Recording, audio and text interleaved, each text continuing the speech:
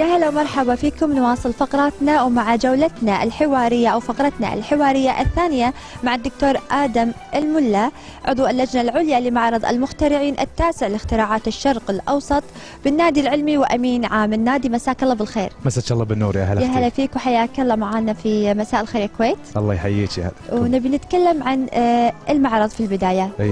طبعا بداية أنا أحب أشكر تلفزيون الكويت وخاصة برنامج مساء الخير الكويت أنا قاعد يسلط الضوء على أنشطة النادي العلمي وخصوصا المعرض الدولي اختراعات في الشرق الأوسط التاسع. لله الحمد يعني هذا المعرض إحنا للسنة التاسعة على التوالي وكذلك للسنة التاسعة نحظي برعاية يعني آه، سامية من حضرة صاحب السمو أمير البلاد المفدى الشيخ صباح الأحمد الجابر الصباح حفظ الله ورعاه لرعاية المعرض. من المعرض الأول وهو كان دائما يرعى آه، المعرض المخترعين لأهميته آه، للكويت وللمنطقة وخصوصا في الشرق الأوسط. نعم. من من الاسم؟ طبعا هو معرض المخترعين. آه، هذا المعرض الهدف منه أن إحنا يكون عندنا في في دولة الكويت وعلى فكرة هو الوحيد في الشرق الأوسط هالنوع من المعارض. إحنا شايفين كثير من المعارض من المختلفة تقام في عدة دول بس معرض المخترعين في الشرق الأوسط هو الوحيد دولة الكويت اللي تقيمه. آه، الهدف منه أن إحنا نستقطب ال- المخترعين من دول العالم يشاركون عندنا بالكويت وكذلك نحفز مخترعينا الكويتيين في ال- في المعرض. نعم. آه، المعرض طبعا هو يشجع آه، إحنا كنا يوم قبل 10 سنين 12 سنة شبابنا كانوا ينتقلون يروحون دول أوروبية يشاركون بالمعارض. ومن ثم قاموا يكتشفون هذه الأفكار وهذه الاختراعات. ومن نقلوا التكنولوجيا للكويت والمعرفة وصار الحين لله الحمد عندنا لله عشرات الحمد. عشرات المخترعين. نعم أكيد. فهذا المعرض ما قلت لك هو آه، معرض آه، آه، للمخترعين في كل دول العالم يشاركون فيه. آه، من ناحية هل الحجم هناك فئات عمرية معينة؟ لا، الهدف أهم شيء الشروط انه يكون متقدم عنده آه، آه، آه، رقم اختراع أو رقم براءة اختراع نعم. هو ال patent number.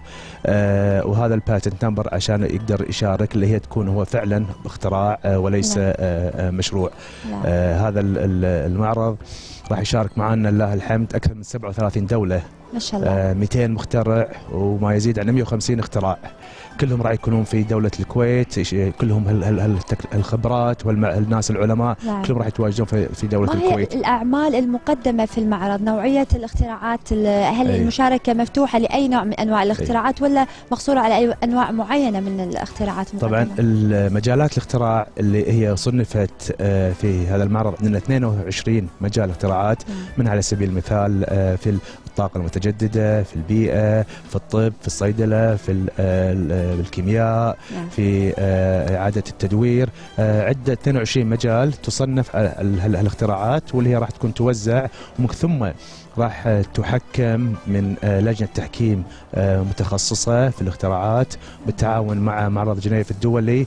وأنا يعني انتهز الفرصة يعني معرض الكويت أو معرض الدول الشرق الأوسط اللي في القيمه في دولة الكويت. هو نعم. ثاني أكبر معرض في العالم من ناحية الجوائز. يعني راح يقدم ما يزيد عن 100 ألف دولار آه، آه، من الجوائز حق ال- الفائزين.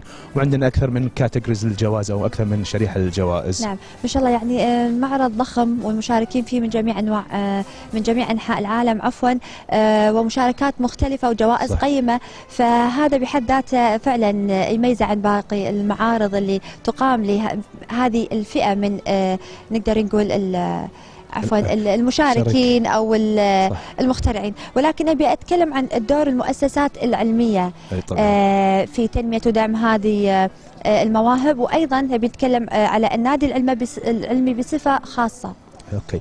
طبعا يعني أنا ودي أبدأ أنحاز للنادي العلمي أول شيء آه، النادي العلمي هو اللي آه، آه، أتى بهالفكرة لمعرض. المخترعين وهو آه، هالمعرض هذا آه، ينظم ويدار كله من أعضاء النادي العلمي اللي هم متطوعين وهذا يعني جانب إحنا نفتخر فيه كأعضاء النادي العلمي إن معرض بهالمستوى وبهالحجم إدارته. وعمله كله من متطوعين أعضاء النادي العلمي في جميع الفئات وجميع من الذكور والإناث هم اللي قاعد يعني همهم انه يبرزون هالمعرض. نعم. نرجع على سؤالك بخصوص دعم أو أو دور المؤسسات العلمية في الكويت.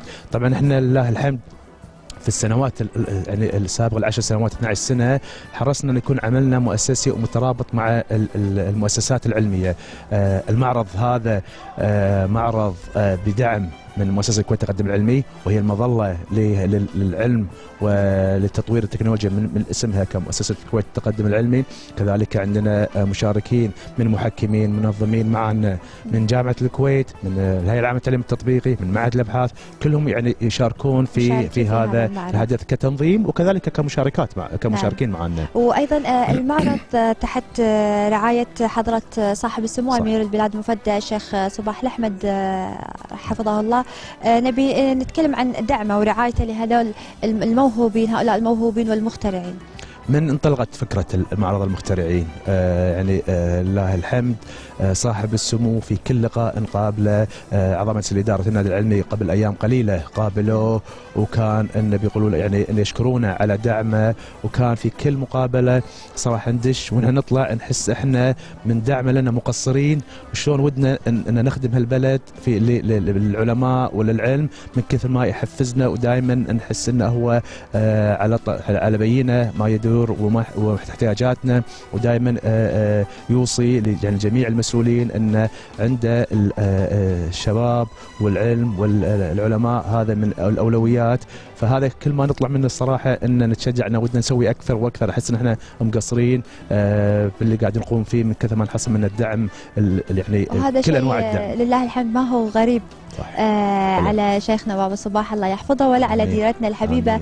آه ولكن أبي أتكلم أيضا وبرجع على المعرض آه تكلمنا إن في هناك جوائز قيمة وعلى مستوى عالمي المشاركة آه هل هناك فعاليات أخرى غير ال- الجوائز والتحكيم إيه. تدور في هذا المعرض؟ طبعا المعرض هو راح يبل راح يبدأ إن شاء الله آه، يوم الاثنين المساء هو الافتتاح آه، الله. الرسمي راح يكون في في فندق الجميرة قاعة آه، بدرية آه، واليوم اللي اللي بعده هي الثلاثاء والاربعاء راح يكون على مرحلتين لاستقبال الجمهور بحيث إن المعرض المخترعين راح يعرضون كل اختراعاتهم آه، في في المعرض من الساعة نعم. 9 الصبح للساعه 12 ومن ثم الفترة المسائية من الساعة 4 ونص حتى التاسعة آه، في راح تكون بعض ال- ال- الحلقات بعض الأمور التوعوية وبعض والأهم منه إحنا نحتاج الجمهور آه، جميع فئاتهم نعم. تعالوا شوفوا ال- الاختراعات شوفوا علماء ال- ال- الكويتيين واللي خارج الكويت.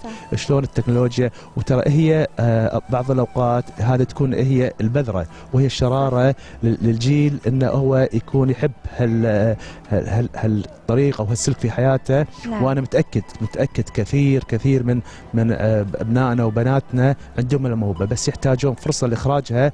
وماكو أفضل من هالفرصة إنك تشوفين في معرض المخترعين جنسيات مختلفة ناس مختلفة أعمار مختلفة. صحيح. إنه هي أفكار بسيطة تحولت إلى اختراعات ومن ثم ممكن تحول إلى منتج. صحيح. وهذا إحنا إحنا من أهم أهدافنا في معرض المخترعين أن ناخذ المستثمرين مع المخترعين.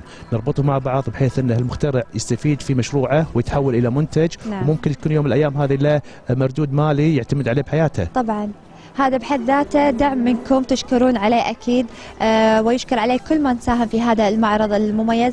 ولكن أيضا عندي استفسار بسيط آه الفئات العمرية المشاركة من الكويت. أي. يعني تقريبا نقدر نقول من أي عمر لأي عمر؟ يعني من عندنا من عندنا ال- ال- الكويتيين من الأعمار اللي آه ما بين يعني ظني ما بين ال 20 حتى فوق ال 50 و 50 آخر الخمسينات في مشاركين آه يعني ما ما يقارب 22 اختراع كويتي راح يكون بالمعرض. يعني نعم. بحد هذا إنه يبين ان الكويت يعني عفوا بس يمثلون كم بالمية من نسبة المشاركين في المعرض آه تقريبا عندنا من ال- المشاركين حوالي 20 ل 20 أو 18% من من المشاركين يعني شاء آه، الله. في كمخترعين آه، كويتيين نعم. طبعا هذه إحنا نشوف كثير ما نسمع في وسائل التواصل وبالأخبار إن بعض الدول المنطقة تطورت عنا ومشت عنا بس بهالأمور آه، إحنا يعني نجزم ونفتخر إن. الكويتيين ككادر بشري آه، هم بالمقدمة